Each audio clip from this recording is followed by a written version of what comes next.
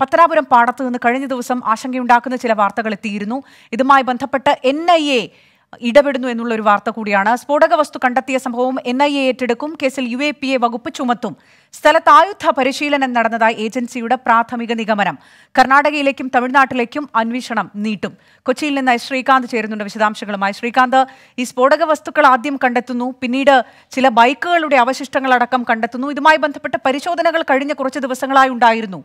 ഇവിടെ ഒരു പരിശീലനം നടന്നതായി തീവ്രവാദ സംഘടനകളുടെ സാന്നിധ്യമുള്ളതായി എൻ ഐ എ സ്ഥിരീകരിക്കുകയാണോ? നിലവിലെടുക്കുന്ന നടപടികൾ എന്തൊക്കെയാണ്? നിമി പത്തനാപുരത്ത് ഈ സ്ഫോടക വസ്തുക്കൾ കണ്ടെത്തിയതുമായി ബന്ധപ്പെട്ട് അന്നു മുതൽ തന്നെ എൻ ഐ എ സംഘം അവിടെ ക്യാമ്പ് ചെയ്ത് പരിശോധന നടത്തുന്നുണ്ട്. കേരള പോലീസുമായി ചേർന്നായിരുന്നു പരിശോധന. നിലവിൽ ആ കേസ് എൻ ഐ എ ഏറ്റെടുക്കാനാണ് തീരുമാനം. അങ്ങനെ ഒരു തീരുമാനത്തിലേക്ക് എൻ ഐ എ പോകുന്നു എന്നുള്ളതാണ് വിവരം. യു എ പി എ ചുമത്തി കേസ് ഏറ്റെടുത്ത് അന്വേഷണവുമായി മുന്നോട്ട് പോവുകയാണ് നിലവിൽ എൻ ഐ എ ലക്ഷ്യമിടുന്നത്. അതായത് കേരളത്തിന് പുറമെ തമിഴ്നാട്ടിലേക്കും കർണാടകയിലേക്കും കൂടി ഈ അന്വേഷണം വ്യാപിപ്പിക്കേണ്ടതുണ്ട് എന്ന് എൻ ഐ എ സംഘം വിലയിരുത്തുന്നു. അവർക്ക് കിട്ടിയ വിവരങ്ങളുടെ അടിസ്ഥാനത്തിൽ അങ്ങനെയാണ് നീങ്ങാൻ തീരുമാനിച്ചിട്ടുള്ളതും.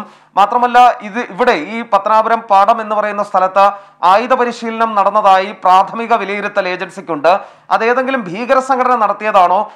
അല്ലെങ്കിൽ മറ്റ് നിരോധിതമല്ലാത്ത മറ്റേതെങ്കിലും സംഘടന നടത്തിയതാണോ എന്ന കാര്യത്തിൽ കൂടുതൽ അന്വേഷണം വേണ്ടതുണ്ട് എന്നാണ് എൻ ഐ എയുടെ ഇപ്പോഴത്തെ ഒരു വിലയിരുത്തൽ. അതിനായാണ് ഇവർ തമിഴ്നാട്ടിലേക്കും കർണാടകത്തിലേക്കുമൊക്കെ അന്വേഷണം നീട്ടാൻ ഒരുങ്ങുന്നത് തമിഴ്നാട് ക്യൂ ബ്രാഞ്ചുമായി സഹകരിച്ചുകൊണ്ടാകും തമിഴ്നാട്ടിലെ അന്വേഷണത്തിനായി നീങ്ങുന്നത്.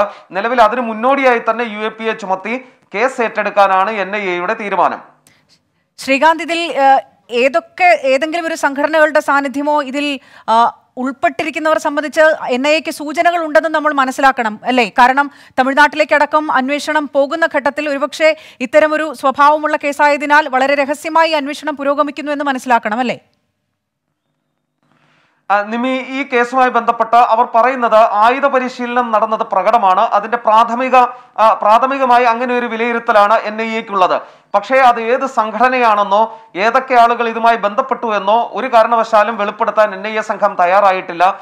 അന്വേഷണത്തിന്റെ പ്രാഥമിക ഘട്ടത്തിൽ അക്കാര്യങ്ങൾ വെളിപ്പെടുത്തുന്നത് അന്വേഷണത്തെ ബാധിക്കുമെന്നാണ് അവർ പറയുന്നത്. അതിനാൽ തന്നെ രഹസ്യമായി തന്നെ ഈ വിഷയം മുന്നോട്ട് കൊണ്ടുപോകാനാണ് അവരുടെ തീരുമാനം. അവരുടെ അന്വേഷണങ്ങളെല്ലാം അത്തരത്തിലാണ് നീങ്ങാറുള്ളതും. പക്ഷേ തമിഴ്നാട്ടിലേക്കും കർണാടകത്തിലേക്കും കൂടി അന്വേഷണം നീട്ടുന്നു എന്ന് പറയുമ്പോൾ ഇതിന്റെ ഗൗരവം അല്പം കൂടി വർദ്ധിക്കുന്നുണ്ട്. നിമി. ശരി ശ്രീകാന്താണ് കൊച്ചിയിൽ നിന്ന് വിശദാംശങ്ങൾ നൽകിയത്.